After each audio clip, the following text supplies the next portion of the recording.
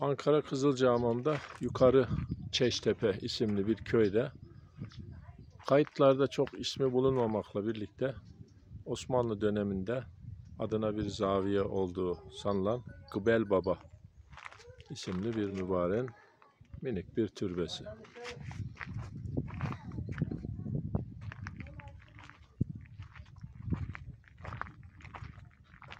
Köy E5 karayoluna 3 kilometre kadar mesafede.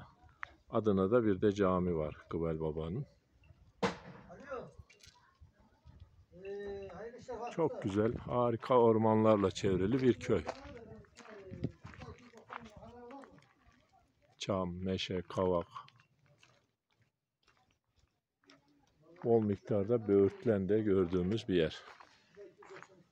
Evet, Kıbel Baba Hazretleri Burada muhtemeldir ki bir takım hizmetlerde bulunmuş.